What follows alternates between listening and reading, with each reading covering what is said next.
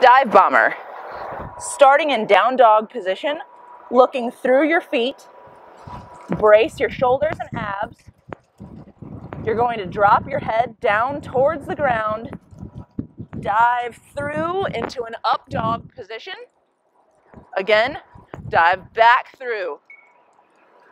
All of the movement is going to be through your shoulders, triceps, and chest. So down dog position, dive through, push up to up dog, bend your elbows, and dive back through.